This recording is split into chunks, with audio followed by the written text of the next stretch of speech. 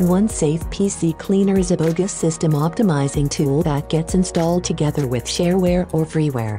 You should terminate this app immediately. To do that, follow this guide. Close the app. Click on Start button and search for Add or Remove Programs. Click on it. Sort applications by installation date. Find OneSafe PC Cleaner, click on it, then press Uninstall twice. On pop-up press Yes. Press Yes again. When uninstallation finishes, press OK, and close any newly opened browser windows.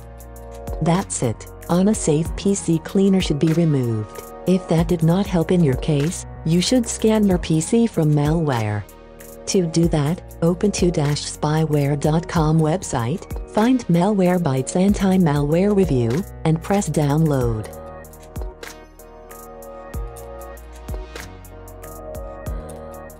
Wait for download to complete, and open the downloaded application.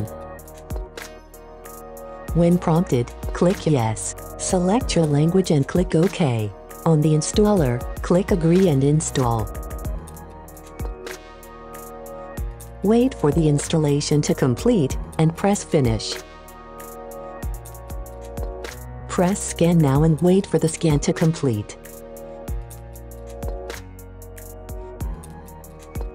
When the scan is finished, select all items and click Quarantine selected.